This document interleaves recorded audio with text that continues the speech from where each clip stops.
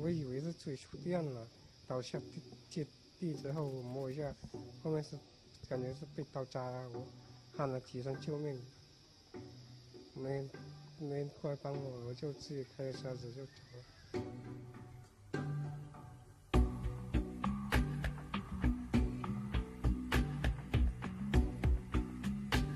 送到我们急诊科以后，这个看看到的病人是这个头上后枕部扎了一刀，那个刀还在袋子上面。